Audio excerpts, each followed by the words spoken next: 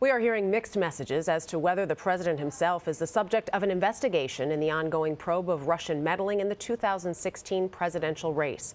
After reports that special counsel Robert Mueller was investigating Mr. Trump for obstruction of justice, the president tweeted on Friday, I am being investigated for firing the FBI director by the man who told me to fire the FBI director. Witch hunt. But that's not what the president's private lawyer is saying. Attorney Jay Sekulow went on multiple shows, including Face the Nation, to deny the president is under investigation. The president issued that tweet on social media because of the report in the Washington Post from five anonymous sources, none of which, of course, anyone knows about, alleging that the president was under investigation in this purported e expanded probe. The fact of the matter is, the president has not been and is not under investigation. How do you know? Because we've received no notice of investigation. There's been no notification uh, from the special counsel's office that the president is under investigation. Washington Post congressional reporter Sean Sullivan is joining us now in, from Washington. Sean, so what do you make of the mixed messages and the fact that we only heard from the president's attorney and not a member of his actual administration? Well, this is the latest example of the president's words being at odds with his defenders, with his aides, with his allies. We've seen this time and again during this administration. Uh, as you pointed out, the president did pretty unequivocally say that he was being investigated in his tweet from last week.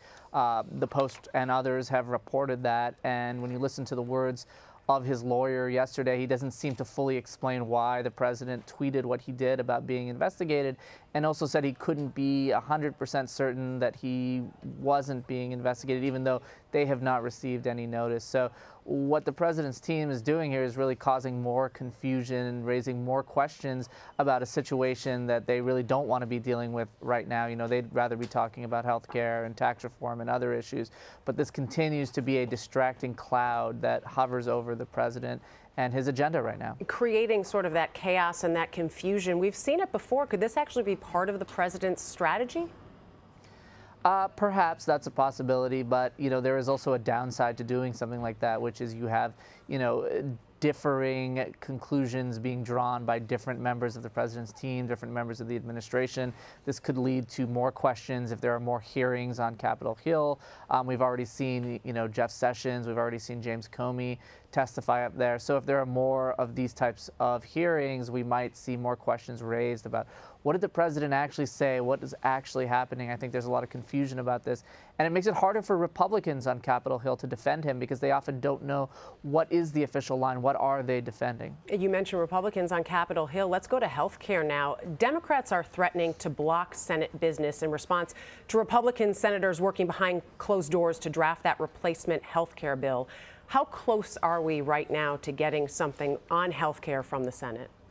Well, I think we might be pretty close. The question is, are the votes going to be there for Republicans? And when you talk about what Democrats are doing to sort of stage these protests against the bill, these are mostly symbolic gestures because they can't stop the Republicans from passing this bill if the Republicans get at least 50 out of 52 of themselves together and vote for this thing. So Democrats don't have the vote to do that. And what they're going to do is they're going to give speeches on the floor. They're going to do things that they hope will attract attention, you know, maybe late into the evening tonight. They're going to try to obstruct other parts of the Republican agenda. But the reality is this comes down to Mitch McConnell and whether he can get 50 out of 52 Republican senators to vote for this bill. I think there has been a lot of work behind the scenes in this bill. McConnell and a very small clutch of aides have been crafting this bill. Uh, it's been a pretty secretive process, and that's frustrated not just Democrats, but also Republicans. Uh, so I think they are close to having something. But whether or not we'll actually see that, whether or not they'll actually bring that to a vote, depends on whether McConnell thinks he can get enough votes to pass it. Because if he can't, it would be a huge embarrassment for him.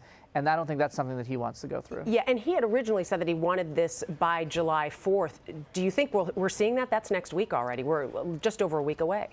It is just over a week away. And when I checked in with Republicans uh, who are familiar with this process late last week, they said, yes, this is still the goal. We are still trying to push this thing ahead so we can bring this to the Senate floor next week, go through the process of amendments and other things, and then get to a final vote before the 4th of July recess.